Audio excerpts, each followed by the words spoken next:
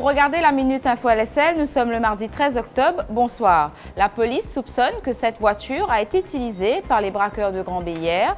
Le propriétaire de Grand Bay Royal Store a été attaqué en pleine rue. Les 250 000 roupies qu'il allait déposer à la banque lui ont été volées. Aujourd'hui, quatre personnes ont été arrêtées. Un cinquième suspect risque d'être arrêté. Il s'agit d'une femme propriétaire de la voiture. Coup de tonnerre dès l'entame des travaux de l'Assemblée nationale ce matin. Maya Anumanji a expulsé Paul Béranger et Rajesh Bhagwan.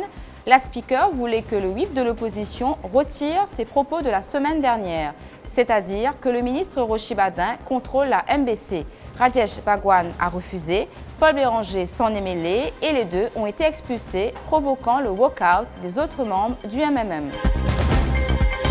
Paul Béranger a tenu une conférence de presse juste après cet incident. Selon le leader de l'opposition, tout a été comploté. C'est un jour sombre pour la démocratie parlementaire, dit Paul Béranger. Le travailliste Chakli Mohamed dit soutenir le leader de l'opposition. Les révélations de l'Express sur les faveurs accordées à Frank Gleason confirmées aujourd'hui à l'Assemblée nationale. Xavier-Luc Duval a expliqué qu'entre 2006 et 2014, le Britannique a été chouchouté par le gouvernement avec des billets d'avion, séjours à l'hôtel et voitures avec chauffeur, sauf qu'on ne sait pas pourquoi. Jamais les services de cet expert en aviation n'ont été sollicités, mais Frank Gleason est soupçonné d'être l'architecte de l'achat controversé des Airbus par Air Mauritius.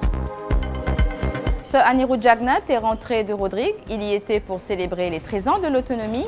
Dans le cadre de cet anniversaire, le chef commissaire Serge Claire a accordé une interview à l'Express. Pour lui, ceux qui osent parler de l'indépendance de Rodrigue sont des extrémistes. Le footballeur français Djibril Cissé en garde à vue. L'ex-joueur de Liverpool est soupçonné d'avoir fait chanter le milieu de terrain marseillais Mathieu Valbuena. Djibril Cissé aurait prétexté être en possession d'une sextape que Valbuena aurait tourné avec sa compagne. Voilà pour l'essentiel de l'actualité. L'information continue sur l'express.mu.